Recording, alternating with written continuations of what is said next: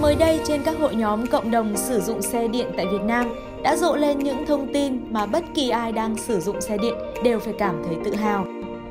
Một chàng trai với cái tên Vinh Dương trong hội xe điện đã có quyết định táo bạo đi xuyên Việt từ Móng Cái xuống đất mũi Cà Mau với chiếc xe điện Pegasus của anh. Cả chặng hành trình với chiều dài hơn 3.260 km đã được anh chinh phục chỉ trong 9 ngày. Trung bình mỗi ngày, anh đã di chuyển hơn 350 km. Chuyến đi hoàn toàn tốt đẹp và anh đã không gặp trở ngại hay khó khăn nào cùng với chiếc xe điện đồng hành. Để hoàn thành chuyến đi xuyên Việt của mình, anh Vinh Dương đã nâng cấp mẫu xe điện Pegasus với viên pin có dung lượng 92Ah cho quãng đường di chuyển lên đến 250 đến 300 km mỗi một lần sạc đầy. Ngoài ra, bộ sạc nhanh 12A giúp anh có thể sạc đầy bình nhanh chóng mỗi khi nghỉ ngơi trên từng chặng đường.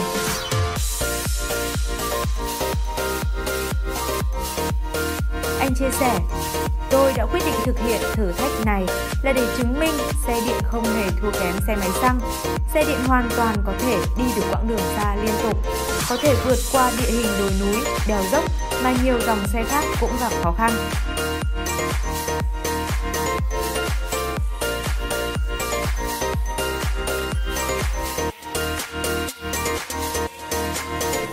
Cuộc hành trình, chiếc xe Pegasus của anh không hề xảy ra một lỗi nhỏ nào.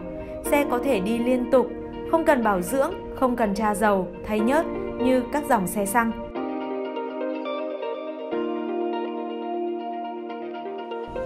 Nếu là một chiếc xe máy xăng hay xe phân khối lớn với chi phí trung bình khoảng 60.000 đồng cho 100 km di chuyển thì bạn sẽ tốn khoảng 2 triệu đồng tiền xăng. Nhưng với xe điện, bạn hoàn toàn không cần bỏ thêm đồng nào. Trung bình để đi 100 km thì xe điện chỉ cần khoảng 3.000 đồng tiền sạc điện. Với hành trình này, anh Vinh Dương có thể sạc mọi lúc mọi nơi, tại quán nước, điểm dừng chân, hoàn toàn miễn phí vì nó chẳng đáng bao nhiêu cả.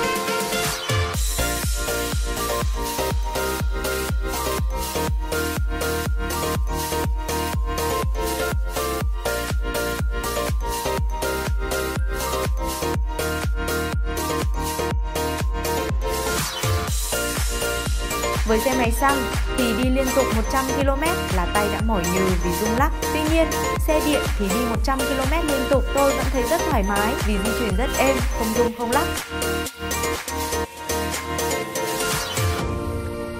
Ngoài ra, động cơ PMSM 4000W của Pegasus rất khỏe, có thể leo đồi, leo dốc dễ dàng. Đó là lý do tại sao tôi chọn Pegasus để chinh phục hành trình xuyên Việt. Anh Vinh Dương đã tiết lộ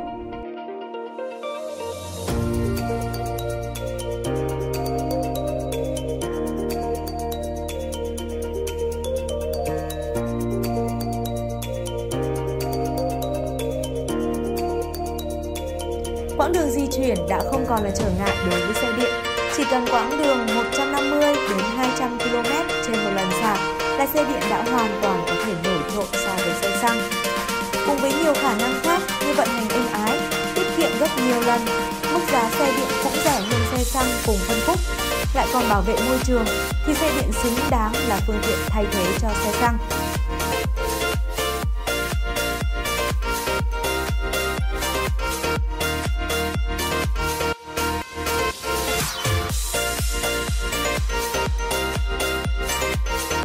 Trình xuyên Việt trên xe máy điện cũng là minh chứng rõ ràng nhất rằng đã không còn khoảng cách giữa xe máy xăng và xe điện.